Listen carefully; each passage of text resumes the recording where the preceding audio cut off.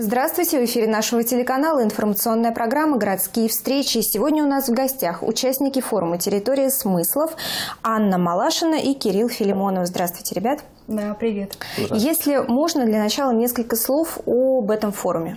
Форум еще молодой совсем, проходит он в Владимирской области, а, форум «Территория смыслов», много смен в себя включает. Вот мы выбрали одну из смен, а, как «Территория смыслов», как она правильно называлась?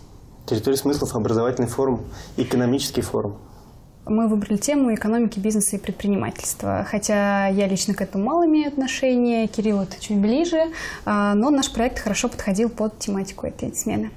Вообще по жизни вы чем занимаетесь? Вы студенты или уже вышли из этого разряда? Э, я в этом году выпустилась из агротехнологического института нашего университета и сейчас через полгода закончу педагогический э, университет, тоже наш Рязанский, и работаю параллельно педагогом дополнительного образования в межшкольном учебном центре. Кирилл? Ну, мне 29, поэтому я закончил давным-давно, вот, но увлекаюсь растениеводством, вот, поэтому подумал, что именно на этот форум можно представить наш проект, который связан с растениями и с детьми. Вот, ребят, мне всегда было интересны э, люди, которые решаются на участие вот э, в таких конкурсах, форумах, фестивалях. Э, я, может быть, тяжела на подъем, но для меня это всегда просто нечто невыполнимое. Как решились, как долго обдумывали, стоит, не стоит? Стоит или в принципе таких мыслей не было? но не обдумывали. А, Кирилл предложил, я подхватила эту интересную идею поучаствовать в таком конкурсе, но я лично уже и была и на Селигере в свое время, и на Тавриде, и в целом участвовала в большом количестве таких мероприятий подобных. Это было такое очередное интересное э, событие. Вот. Но конкурсы начали готовиться уже основательно, заявку мою очень долго не одобряли. Вот. А Кирилл, как тебе пришла идея поехать туда, я уже не помню. Мне порекомендовали друзья во время пробежки. Они узнали про наш проект и говорят, слушай, Кирюх, э, есть вот такой вот по территории смыслов, такой форум, попробуй подать. Ну и вначале ты думаешь, ну, э, а потом думаешь, ну, а почему бы нет? Действительно, ничего не теряешь. Да, да, абсолютно ничего не теряешь, только в плюсе в любом случае. Что за проект? Наш проект профориентационный. А, на сельскохозяйственной специальности. А, регион наш исторический сельскохозяйственный, очень интересно было заниматься именно а, этими, этим направлением. Ну да, то есть идея проекта очень проста. Мы устанавливаем в любом помещении мини-тепличку круглогодичную, приглашаем школьников и вместе с ними выращиваем растения от семечка до семечка. Это первый этап – После того, как они вырастили растения, дальше мы идем в вузы, э, знакомимся с э, сельхозспециальностями, которые они в будущем могут получить. Это второй этап. А третий этап – это уже мы приходим на предприятия разные, сельскохозяйственные, и они смотрят, куда они в будущем могут применить эти знания. То есть такой получается как бы взгляд в будущее. То есть направлено именно на то, чтобы ребята уже со школьной скамьи знали, что такое сельское хозяйство и э, да. понимали, что они могут быть полезны своему региону. А, да, в том числе и нашли себя в этой сфере, потому что очень много существует стереотипов по поводу выращивания, сад, сада, дачи. И у детишек складываются очень быстро негативные впечатления. И потом, даже если ребенок тянет чем-то подобным заниматься, найти в себе сил, признать это через стереотипы, пройти этот э, сложный путь очень нелегко. Поэтому мы им помогаем, мы их знакомим, мы стараемся сформировать такой положительный образ этих специальностей и надеемся, что у нас все обязательно получится. Ну вот на словах это все звучит э, достаточно просто. А в каком виде вы этот проект представляли? Это была какая-то презентация или как это вообще все происходит? Да, конкурс состоит из двух этапов, даже трех. Сначала подается, прописывается полностью проект в таком печатном виде и подается вместе с заявкой эм, к ребятам на сайт. Потом администрация рассматривает все заявки, мы приезжаем на форум, подтверждаем ее. Дальше они читают, вчитываются, у них есть критерии, они оценивают и смотрят, насколько проект вообще годен для данной смены. И после этого а, допускают из э, всего количества заявок, допускают но у нас было 203 заявки, допустили до защиты публичной 80. И потом все желающие могли прийти и услышать презентацию, которая длилась 3 минуты для экспертов. А, и еще несколько минут они задавали вопросы. То есть, по большому счету, чтобы рассказать, насколько классный проект каждого участника, есть всего 3 минуты. И вот из этих 80 участников в итоге сколько человек получили гранты? 20 человек получили гранты. Один на 300 тысяч, это наш грант, а, и другие несколько на 200, и большая часть на 100 тысяч, 20 человек. Ну, мы вас поздравляем с таким успехом, такой удачей.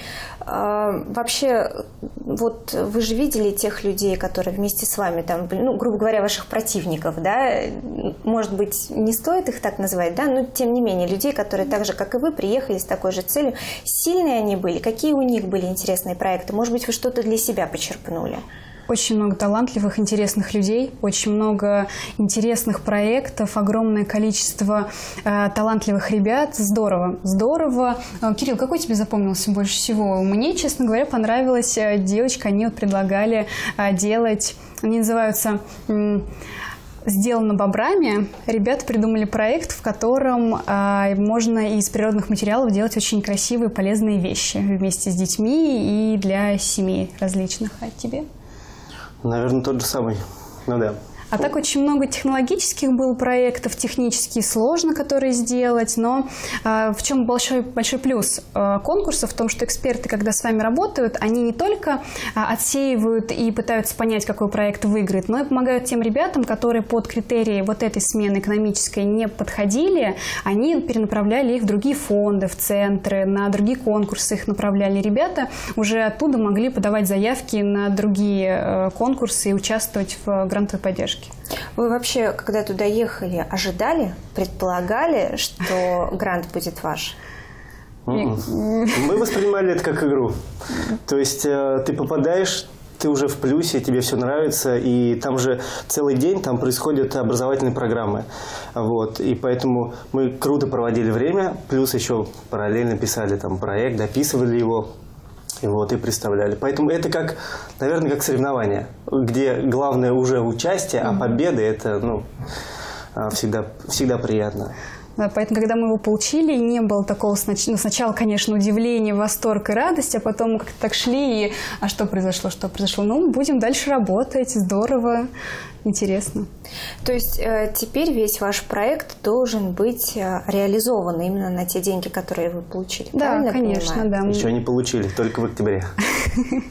Да, у них так интересно построена система, что а, конкурсы проходят в основном летом, а бюджет распределяется по осени.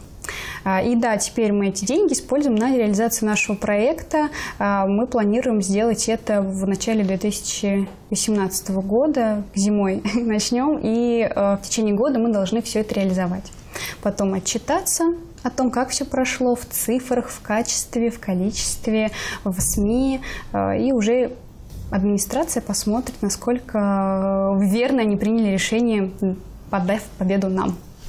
А каким образом будут э, вами выбираться школы, вот, где ваш проект будет реализован? Или, в принципе, уже все решено?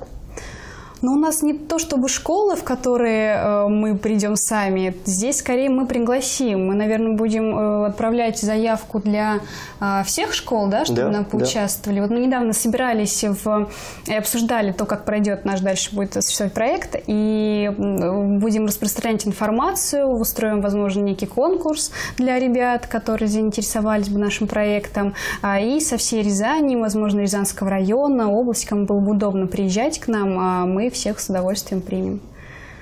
А какие растения вы будете выращивать, мне вот интересно? В маленькой тепличке что можно вырастить? Мы там можем, у нас тепличка состоит из двух частей. В одной мы выращиваем большие растения, светолюбивые. Мы будем выращивать томаты, огурцы, баклажаны, перцы, арахис попробуем вырастить, но это эксперимент будет.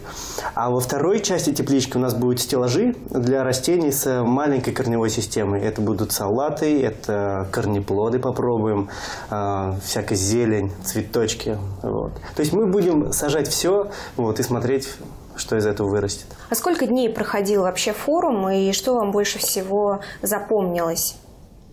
Форум проходил 6 дней. А, что запомнилось? Во-первых, программа, она очень плотная, очень насыщенная. То есть ты просыпаешься, и буквально через полчаса весь твой досуг уже распланирован. Это зарядка, это завтрак, потом образовательные лекции. И, наверное, больше всего мне запомнились э, лекции и практикумы от ребят, от реальных э, предпринимателей, которые вот молодые и общались с нами на, ну, на нашем языке. То есть они приходили и рассказывали все как было, про взлеты и про падения. Потому что большинство, они рассказывают про взлеты, и так слушаешь, думаешь, ну это так все легко. А когда приходят ребята и рассказывают в том числе и про их провалы, ну, вот, ты понимаешь, что предпринимательство связано и с тем, и с тем. То есть есть э, определенные риски, есть определенные неудачи, но, например, я вот этих предпринимателей называю неваляшками. Что бы ни случилось, как бы они ни падали, они все равно встают обратно и продолжают свой путь. И вот это очень сильно мотивирует. Аня, ваши какие самые сильные впечатления? Ой, мне очень всегда нравится, когда на форуме съезжается вся Россия, и мои впечатления обычно связаны с людьми, которых я там встречаю.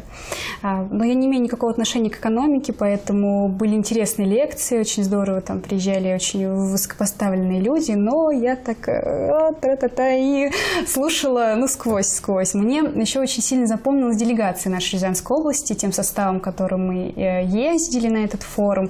Отличные ребята, очень многие из них тоже подавали а, проекты свои, с ними было очень интересно общаться. Мое главное впечатление – это люди.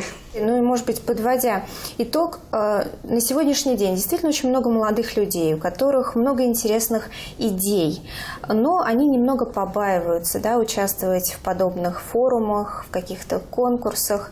А, как им себя мотивировать? Ваш совет? Лично я предложила бы им просто действовать просто действовать. Ожидать результата всегда хочется, но по большому счету можно отпустить ситуацию и понять, что каждое твое действие предполагает какой-то важный опыт, важный шаг, важный опыт. И поэтому я предложила быть им просто смелыми и действовать. Кирилл? Да, тут тот же самый совет, потому что действие всегда лучше, чем бездействие. Я думаю, и так. очень любить свое дело, которым э, ты занимаешься, потому что, чтобы рассказать и заразить свои идеи большую аудиторию за три минуты, надо очень-очень любить свое дело и видеть в нем э, такое вот нечто важное для всех, не только для себя. То есть, когда любишь, хочется и поделиться им. Поэтому действовать и любить то, чем занимаешься. Ребят, спасибо, что сегодня пришли к нам в студию. Еще раз вас э, поздравляем и с интересом будем следить за реализацией вашего проекта. Спасибо, Ирина. Спасибо. Ну а на этом наша программа подходит к концу. Мы желаем вам всего самого наилучшего. До встречи в следующих выпусках.